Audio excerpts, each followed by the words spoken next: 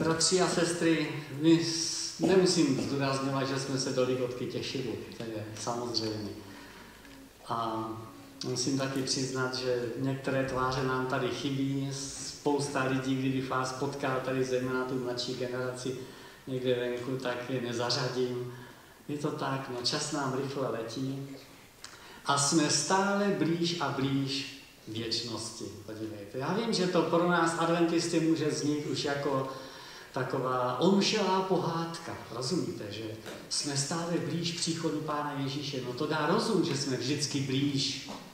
Ale chci vám dnes říct, že já vůbec to nevnímám jako něco omšelého, něco, na co bychom měli jako adventisté docela zanevřít a říct si, no tak to říkali naši rodiče a prarodiče a to říkáme pořád dokola. Pán Ježíš přijde velice brzo.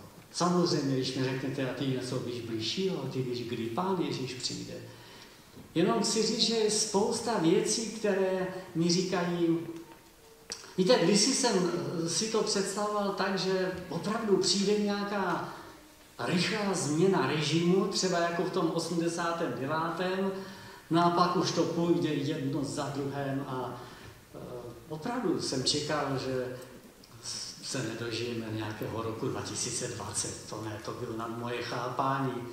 No nicméně píšeme už rok 2021 a já zpívám pořád stejnou píseň, že Pán Ježíš přijde velmi brzy. Ale některé věci skutečně jsou hodně silné pro mě. Jako nikdy jsem si nepředstavoval, že bude ta globalizace, o které čteme ve zjevení 13, že jo? že prostě ten svět jednotně vydá jednotné nařízení a celý svět ho bude respektovat, tak to nešlo mi na rozum. A vždycky jsem si říkal, no jak může se východ spojit se západem, co rusové a tohle a číňané a teď najednou vidíte, že vlastně všechno je možné, že se stane nějaká věc a celý svět poslouchá jednu taktovku.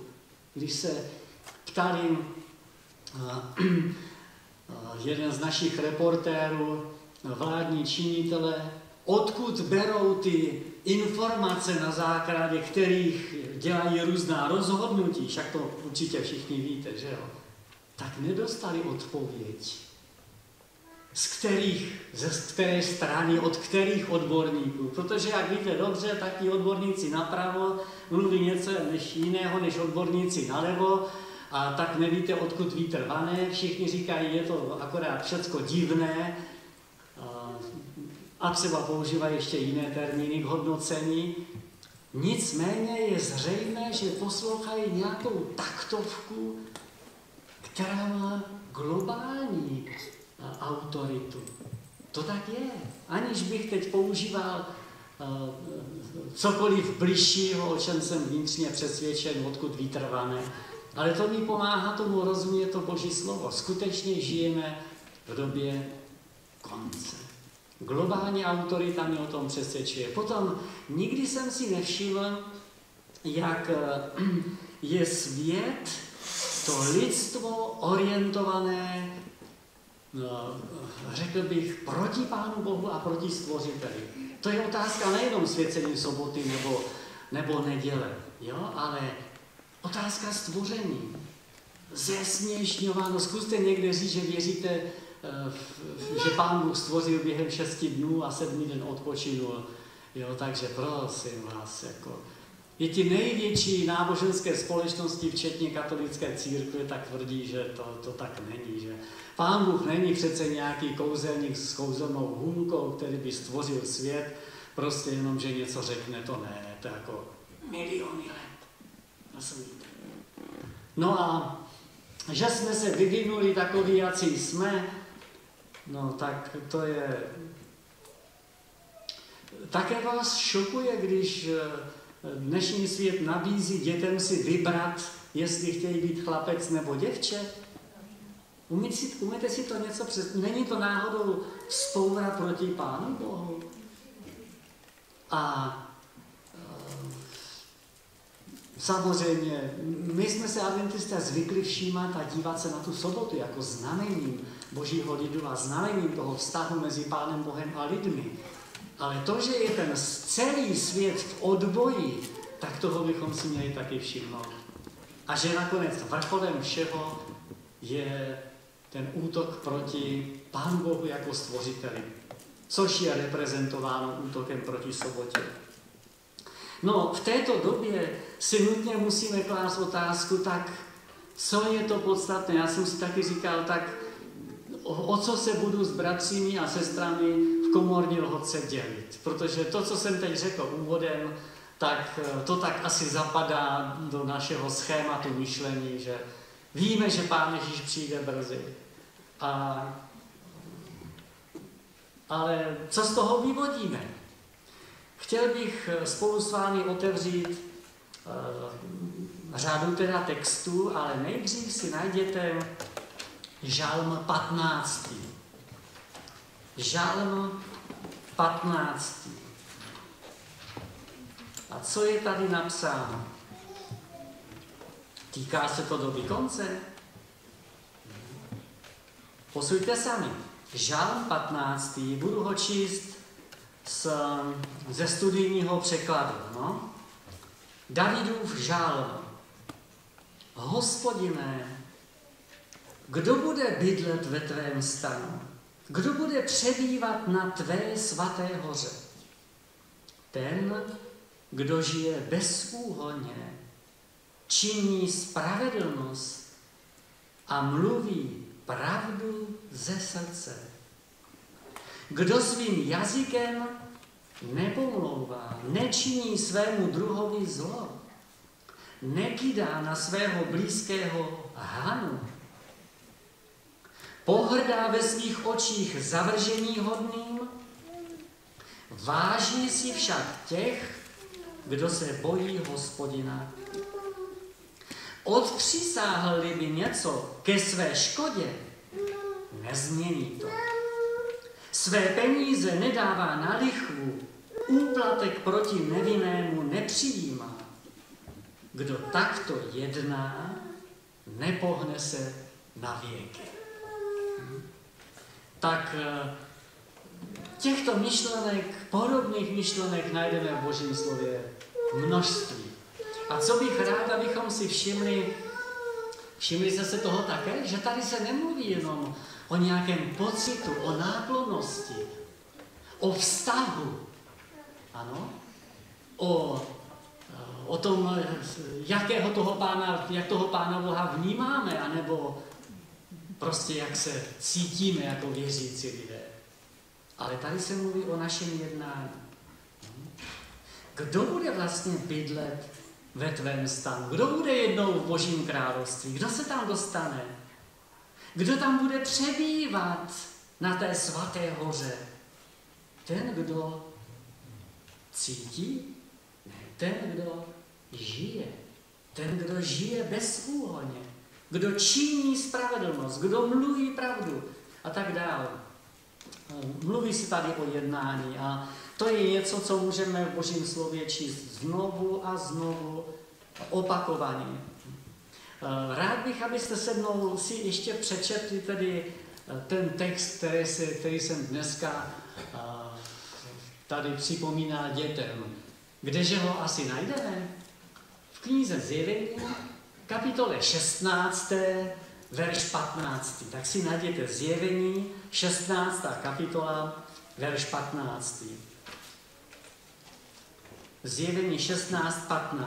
A to jsou opravdu slova Pána Ježíše Krista. No. Pán Ježíš Kristus nemluví v knize Zjevení tak často osobně. Mluví prostřednictvím anděla. Na začátku tam mluví anebo posílá dopis těm sedmi církvím, na konci knihy Zjevení tam v těch dvou kapitolách hovoří o tom, co pro nás přichystal.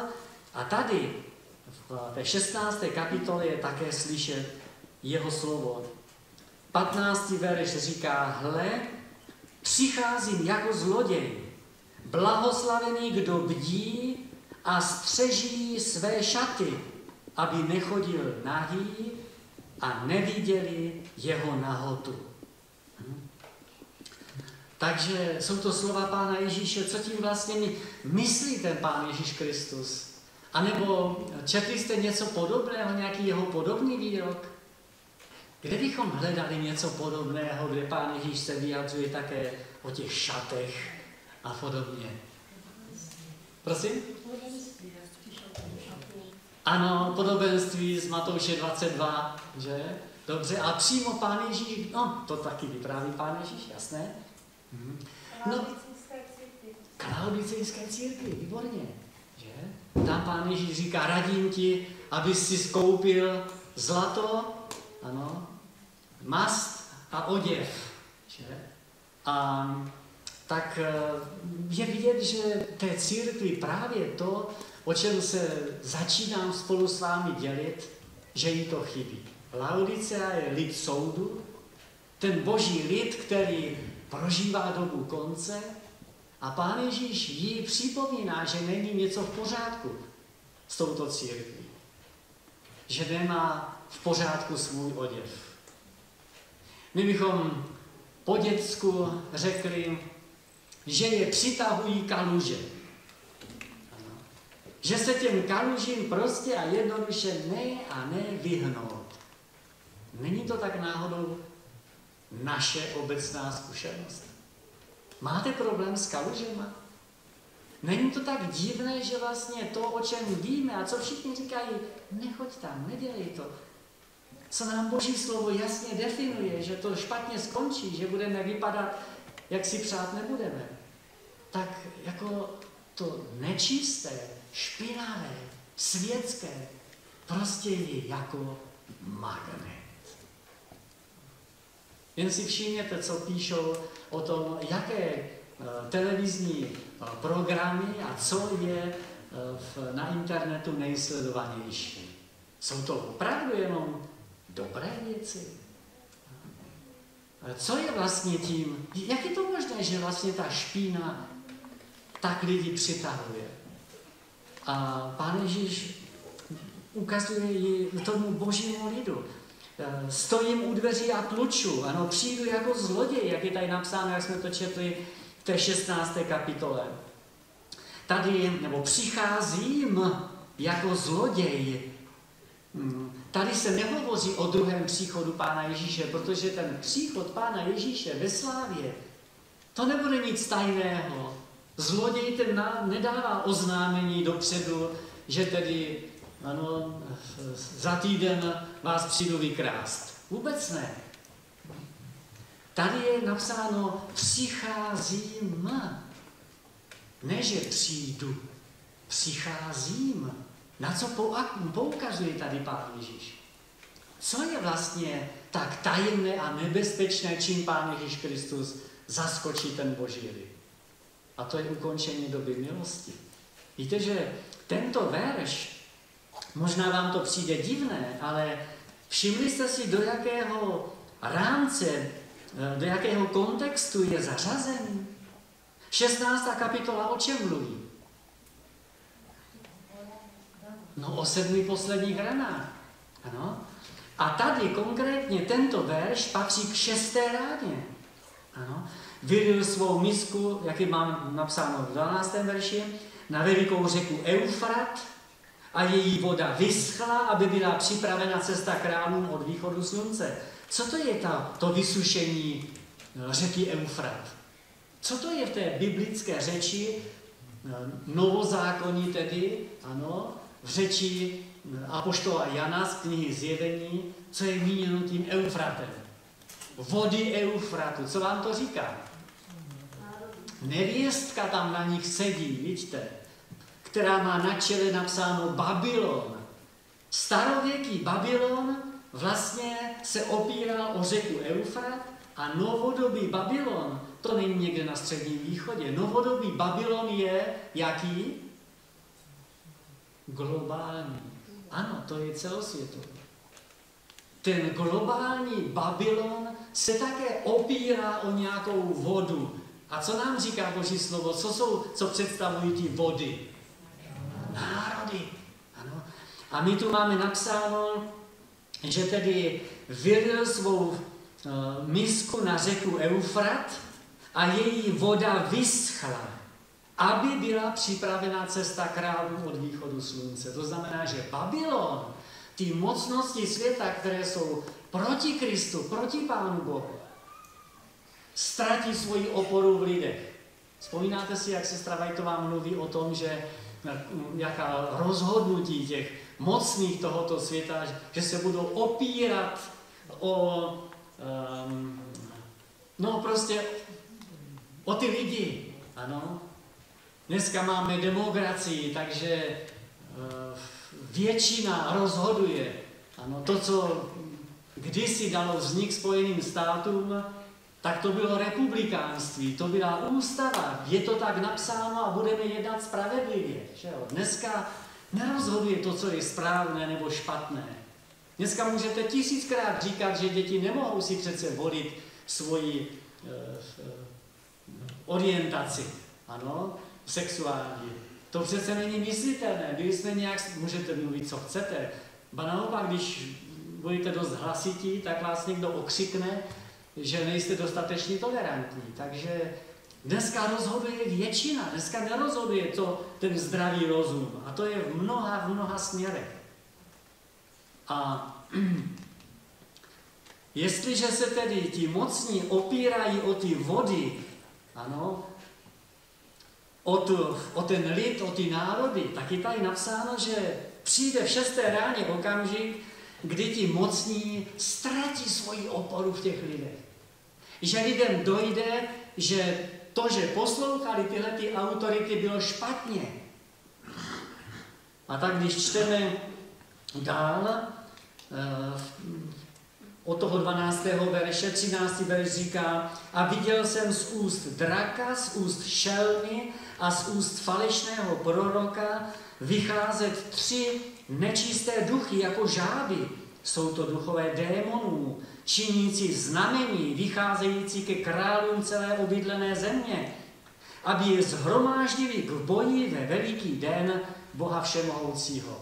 Vidíte, že tady se děje něco globálního. Možná, že někteří dnes říkají, eh, jaký postoj zaujmout k vrchnosti, no tak to je jasné. Přece Apoštol Pavel říká v epištole Římanů 11, že vlády nejsou jinak dané než od Pána Boha. Takže my jsme povinni Pána Boha poslouchat a jsme povinni poslouchat také, co řekne vláda. Takže eh, když nám řeknou, eh, skoč do té jámy, tak skoč do toho bláta, takže samozřejmě uděláme co? No. Lidi jsou, všímáte si, jak jsou lidé vycvičeni dneska? Jako kdyby eh, k tomu R, tomu té řadě R, ano, se vytratilo to opravdu patřičné a klíčové, a to je rozum. Je pryč.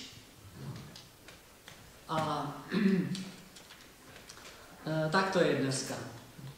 Ale tu je napsáno, že vlastně za těmi vládními činiteli, a to bychom si taky měli dát do souvislosti, je tu napsáno něco o démonských uh, duších, ano, o ďáblu a jeho uh, kamarádech, kteří mají nepředstavitelnou působnost, globální působnost.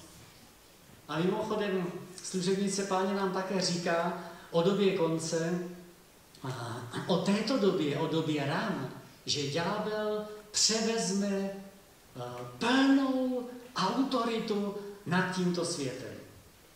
To je, umíte si představit, když máme také napsáno, že pán Bůh má i na těch nejvyšších místech, ano, v senátech a podobně, ve vládách, svoje nástroje, prostřednictvím kterých působí na ty vládní činitele a podobně. Ale v době konce žitě také napsáno, že Duch Svatý odstupuje pomaličku z této země a přijde okamžik, kdy opravdu si ďábel bude dělat na tomto světě úplně, co chce. Úplně. Jak to bylo s Jobem? Ano. Takže jo, úplně s tímto světem, ale lid Boží bude mít svoji ochranu. Pán Bůh ji slíbil. A tady je napsáno, eh, co ti duchové na, bezbožných nebo duchové démonů budou dělat?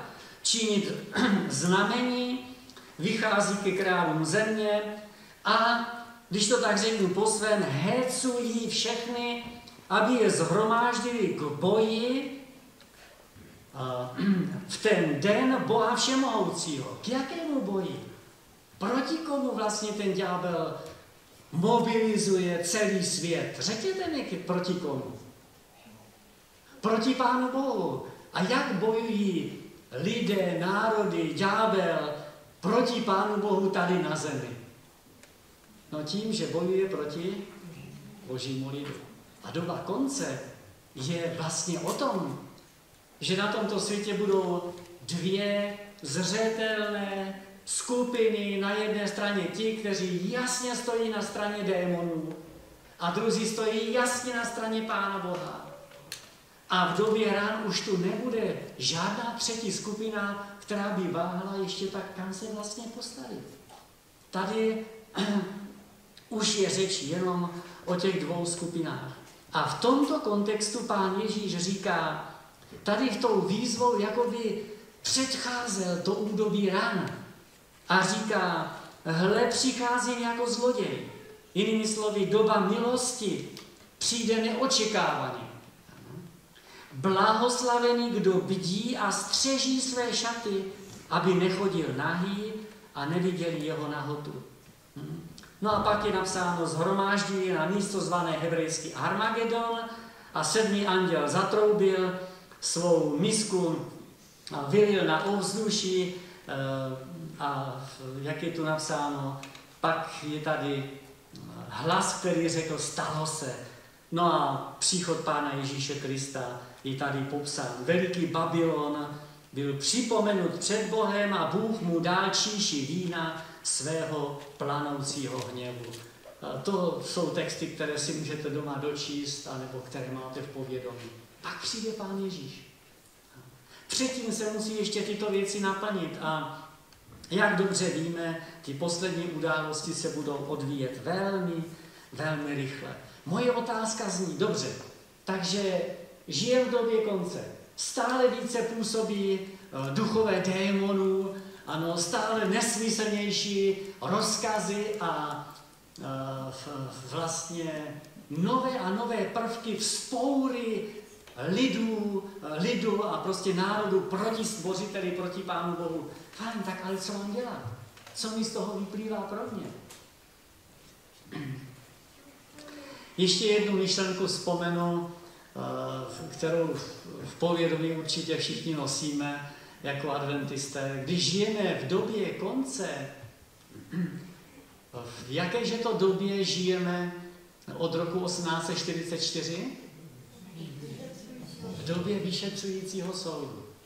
A čím byl vlastně ten vyšetřující soud zobrazen v těch službách starozákonní svatyně? Vzpomínáte si? Dnem smíření. To znamená, že žijeme dnes ve dni smíření. Vzpomínáte si, co měli židé, co měl Izrael dělat během tohoto dne smíření? Zkuste si najít 3. Mojžíšovu 23. kapitolu. Ano, 3. Mojžíšova 23. kapitola a tam budeme číst od verše 27. 3. Mojžíšova 23 od verše 27. A tam je napsáno, desátého dne téhož měsíce bude den smíření budete mít bohoslužebné zhromáždění, budete se pokořovat a přinesete ohnivou oběť hospodinu. Toho dne nebudete konat žádnou práci. Je to den smíření, kdy se, vás budou, kdy se za vás budou konat smírčí obřady před hospodinem, vaším Bohem. Kdo se toho dne nebude pokořovat, bude vyobcován ze svého lidu.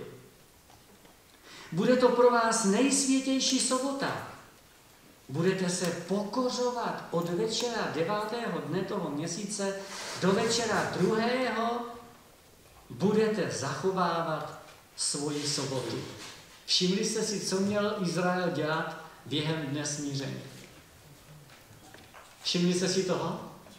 Třikrát se tady hovoří o čem? Pokořovat. Co to znamená pokořovat se? Co to měl ten Izrael dělat? Co to je to pokořování? To je přece něco tak nepříjemného. Přece to, co potřebuje člověk, asi i věřící, tak pěstovat vědomí vlastní hodnoty, ne? A ne se ponížovat, pokořovat. Nepřipadá vám to trošku divné? Je to dobré poselství pro dnešek? Vést lidi k tomu, aby se pokořovali?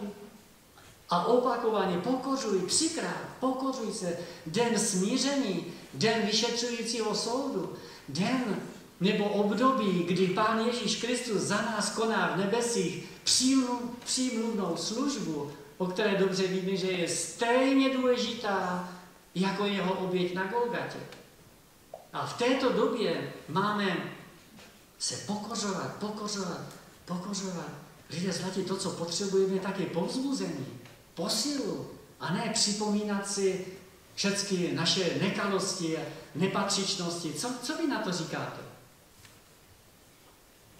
To připadá? Je to na místě? Co to je to pokořování? Bratři a sestry, jo, samozřejmě je to pokání, ale chtěl bych ještě jeden termín tady použít a to je, nebo jeden, jednu myšlenku pokoření, to znamená vlastně uznat Pánu Bohu, že má pravdu On, ne já. Víte, častokrát to říkáme, nebo možná si to tak myslíme, nebo bývá slyšet. Jo, ono je to v Biblii tak napsané, ale prosím tebe, já si myslím, je to tak? V Biblii to tak je, ale já si myslím, si živě vzpomínám na jeden okamžik, kdy jsme takhle s kamarády eh, svědčili eh, v, ve skupině mládeže eh, u baptistů v, v Ptali se nás, čím jsme jako adventisté jiní, samozřejmě otázka soboty hned byla na stole, no a oni teda do nás bušili ze všech stran, jo, a my jsme měli co dělat, abychom se, byli jsme tam tři kluci z brněnské mládeže a pak tam najednou v tom kruhu v mladých ze zadu vystoupil takový starší bratr, ano, baptista a říká, nechte je, jako nechte na pokoji ty adventisty a nebušte do nich. Ano? Nechte je. Podle Bible skutečně se má sobota světit. A teď dodal, ale já si myslím, že to pán Bůh nebude brát tak vážně. A je to. Diskuze utichla, my jsme v klidu, potom dokončili teda tu svoji přítomnost v mládeži a setkal jsem se s tímto znovu a znovu opakovaně, že Jo, sice je to tak v božím slově napsáno, ale jako to tak nemůžeš brát. To tak platí o, tenkrát. Teď se učíme o, uh, v sobotní škole o smlouvě. No, kolik jich vlastně je těch smluv? Už jste na to přišli, kolik je těch smluv? Jenom jedna. Ano. Takže to ostatní je znovu a znovu opakování toho starého. Vždycky jinou formou z jiné strany Pán Bůh chce naplnit to podstatné, to zásadní. On chce říct, hele, bude se ti líbit, když tě přetvořím, abys mě byl opravdu podobný. Souhlasíš s tím? Podívej se do toho zrcadla. Vidíš to? A podívej se na Pána Ježíše. Tak bych chtěl, abys vypadal. Chceš tak vypadat? Chceš se Kristu podobat? A my řekneme, No, tak, eh, pane Bože, jo, vypadám hrozně, to je pravda, když se podívám do toho božího zákona, vůbec co říkáš v kázání nahoře, ale to přece po mně nikdo nemůže chtít, abych já byl dokonalý, spravedlivý, abych nehřešil. To přece, pane Bože, to přece není možné. Jo, ty tam mluvíš o té spravedlnosti, ale to přece není možné. Vzpomínáte si ale, co jsem četl na začátku tady v tom 15. žalmu? Vzpomínáte si na to? Mluví se tam jenom o tom, kdo má jakou víru a jaký, jakou náklonost k tomu Pánu Bohu. A nebo je tam řeč o tom, kdo žije spravedlivě. A kdo by tomu nevěřil, kdo by si řekl, no dobře, ale to je pořád ve starém zákoně, tak si najděte v novém zákoně. Epištolu Janovu, první Janovu, třetí kapitolu třeba. A přečtěme si tam ty verše, které hovoří o tom, že kdo vlastně hřeší, tak nezná Pána Boha. A e, kdo hřeší, ten je z ďábla. Takže my nemáme šanci jinak, než si vybrat opravdu. Buď to se celé postavíme na stranu Pána Boha, anebo nám zůstane jenom to druhé. Mezi tím není něco třetího, tak e, rozumím tomu správně. Ale uh, stále, stále se ozývá uh, jako ten, ta myšlenka, že přece to, co je potřeba, tak mít ten správný vztah k Pánu Bohu, já jsem to zdůrazňoval dneska v sobotní školce, ve třídě, ve škole, protože se mi zdá, že nám uniká obsah tady toho slova. Ano, máma mít ten správný vztah k Pánu Bohu. Ale ten správný vztah je v Bibli pojmenovaný. A sice tím prvním největším přikázáním, které nám říká, co? Milovat budeš Pána Boha svého celého srdce, ano, celé duše a veškerou svou silou. To je, to, to je ten náš vztah. Proto pán Ježíš se ptal Petra, Petře, miluješ mne? A Petr byl tak v rozpacích, že pánu Ježíši odpovídal vždycky, ano, já tě mám rád. Petře, ty jsi mě špatně slyšel. Miluješ mne? Ano, pane Ježíši, já, já tě mám rád. Zase Petr špatně slyšel. Petře, miluješ mne? A to je ta otázka, kterou si musíme řešit. Jak poznáme, že Pána Ježíše Krista milujeme? Jak se pozná, že Pána Boha milují nebo miluješ? Čím se to pozná? Podle čeho? Co je napsáno v Božím slově? Milujete-li mne, přikázání moje zachovávejte. A když tedy přestoupíš Boží přikázání, zarmucuješ Pána Boha, tak co tím říkáš vlastně? Pane Bože, ano, moje láska má pořádnou trhlinu. Moje otázka zní, miluje nás Pán Bůh stále? Miluje nás Pán Bůh stále? Co nám říká Boží slovo o téhle věci? Že Pán Bůh miluje koho? Hříšníka, ale nenávidí hřích. Pán Bůh nás ale jako hříšníky vede k čemu, abychom se, jak to tady čteme, abychom se před ním pokořili, kapitulovali a řekli, ano, pane, je to tak. Nezasluhuju nebe. Nezasluhuju očištění. Je sice napsáno, že je stále otevřená studnice pro ten dům Davidův. Ale já si nezasluhuju to neustále očišťování. Ale nicméně Pán Ježíš říká, ale přicházím jako zloděj. Přijde okamžik, kdy najednou zjistíte, že opravdu už není tady nějaká ulička, nějaký prostor, který eh, by mi Pán Bůh dal, eh, nabídl zhovývavě, že tedy dobře, tak vezmu do nebe jenom spravedlivé, čisté, ty, kteří nelžou, kteří mají čistou mysl, fajn, ale ty jediný budeš výjimka. To tak není. To tak není. Musíme se postavit jednoznačně. Potřebujeme se pokořit před Pánem Bohem. V první Petrové 5. kapitole ve verši 6. je napsáno Pokořte se pod mocnou ruku Boží, aby vás povýšil časem svým. Pán Bůh nás nechce pokořovat neustále božím zákonem a připomínat nám naše neplechy, a má radost z toho, že teda jsme úplně z toho zdeptaní, protože opravdu jsme ano, jsme hříšníci. A že se nakonec budeme kochat v tom, jak jsme špatní. Nikoli.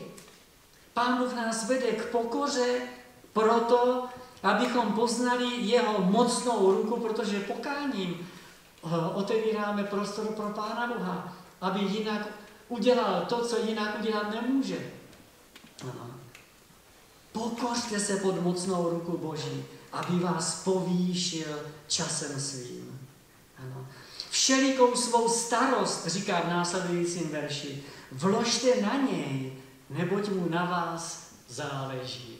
Jo, takže máš starosti s tím, jak obstojíš, když budeš míjet zase další kaluš? Ano. Máš starost, když vidíš sám sebe a ty, ty všechna, všechna ta měřítka boží spravedlnosti?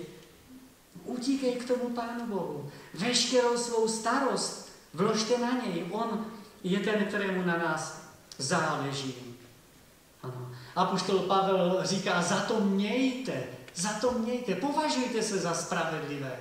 Když jste jednou učinili pokání, netáhejte se s tím břemenem a nesnažte si pořád pucovat ty vaše boty a kalhoty a podobně, protože Pán Bůh vám dává zadarmo očištění, které si nejste schopni zajistit sami. To je to, je to umění toho Pána Boha, které potřebujeme ocenit. Je zajímavé, že pán Bůh eh, přikázal Izraelcům v tom dní smíření nic nedělat. Nic nedělat. Jo, jak to naplnit tedy tady ten obraz eh, ve smyslu eh, vyšetřujícího soudu? To fakt dneska nemáme chodit do práce, nebo jak? Jak byste tomu rozuměli? To by bylo fajn, víte?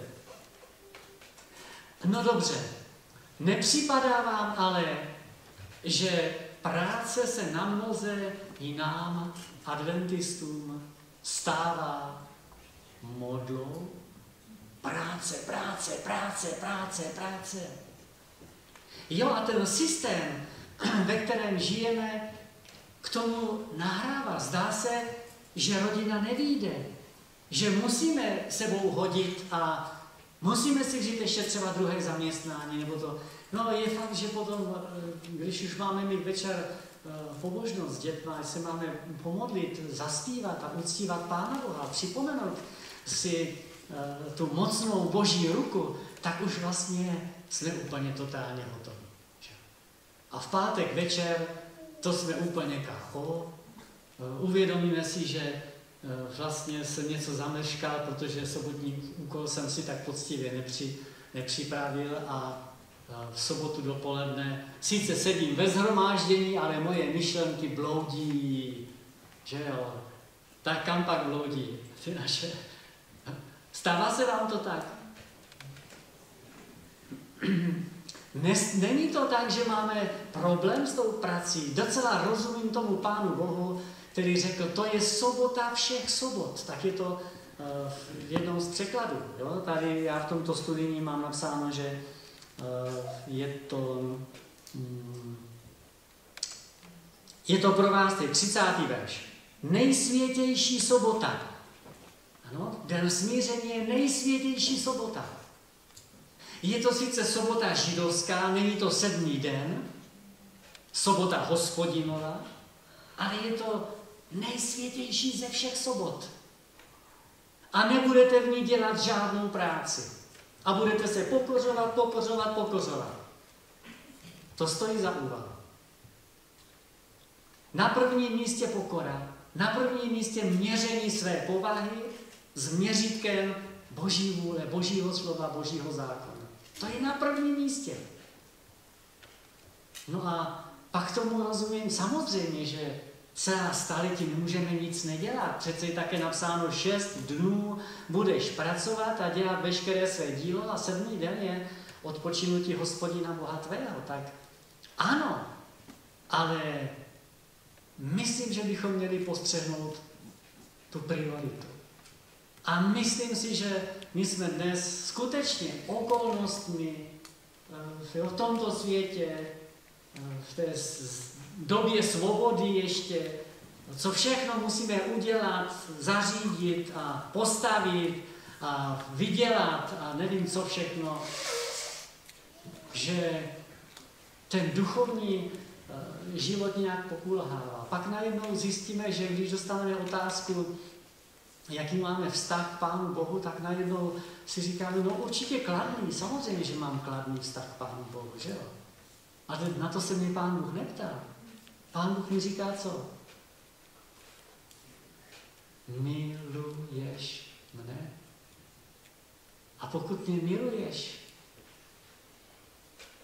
tak jak vypadá tvůj život? Je to od, kryje se to s tím, co jsme četli v 15. žalmu? A tak to je, bratři a sestry, eh, naposledy ještě jedno místo, a sice z Izajáše 50.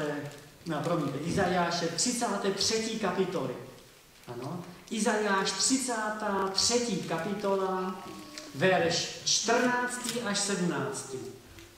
To bude oddíl na závěr.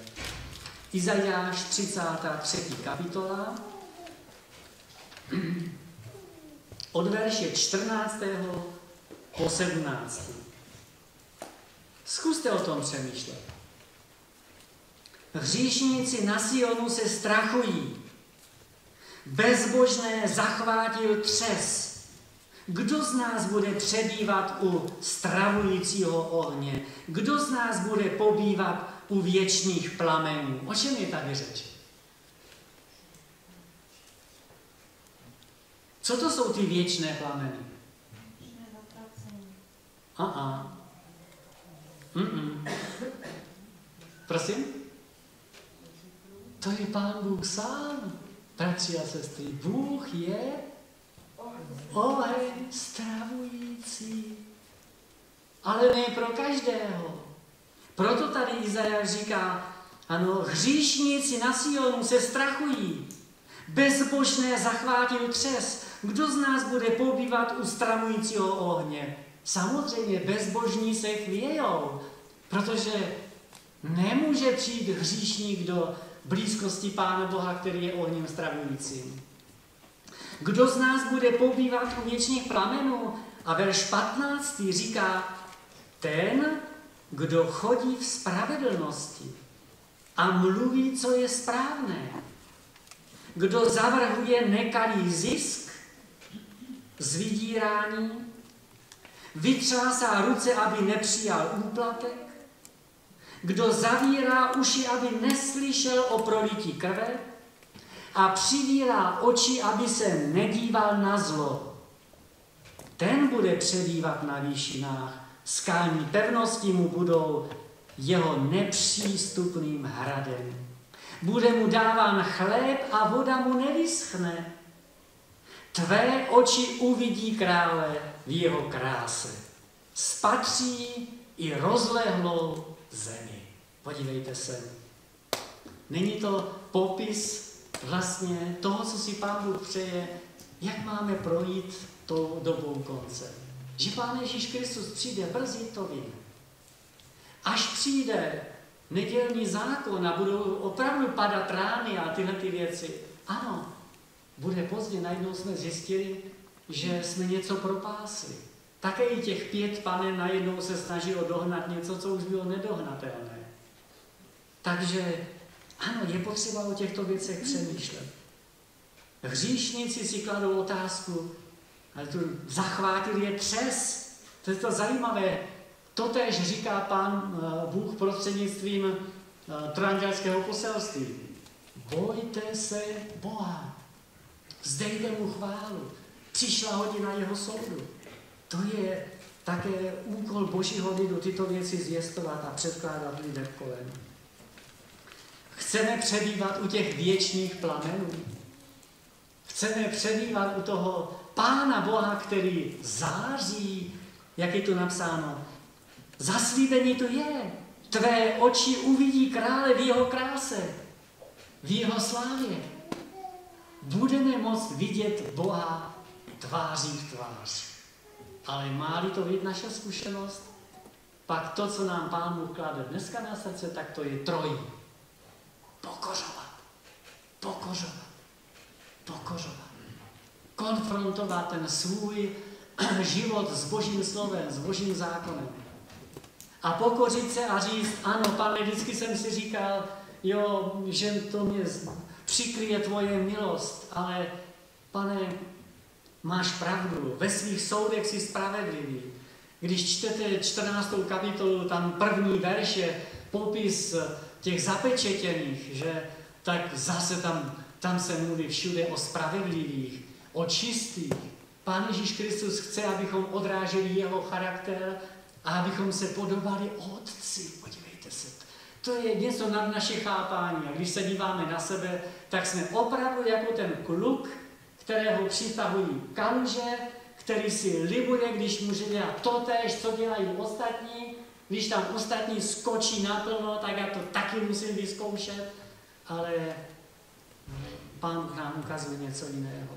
Bratři a sestry, přeji vám i sobě, abychom neminuli eh, se smyslem toho, proč tady ještě žijeme, proč tady jsme. Pán Bůh nám dává milost. Dosud rány nepadají.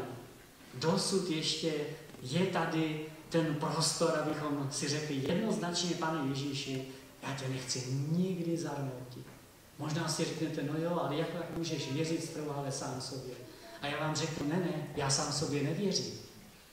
Ale Pavel mi říká, považujte se za spravedlivé. No, za to mějte, že jste takový. Chtějte takový být. On říká sám, já si nemyslím, že jsem spravedlivý a že bych dosáhl už dokonalosti. Ale co? Běžím k cíli, na Češ uchvácen jsem od Krista Ježíše. To je jediná naše šance.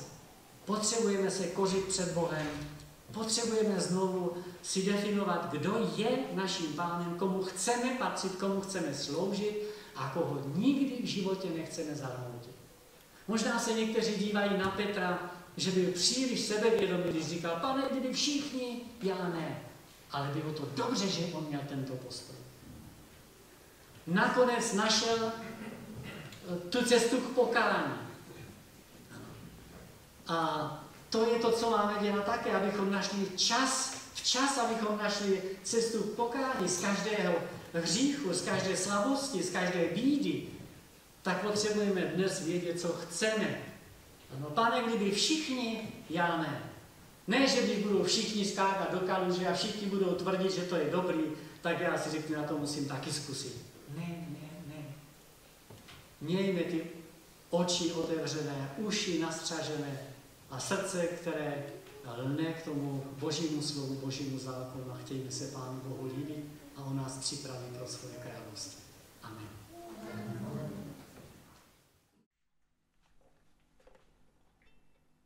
přemýšlím,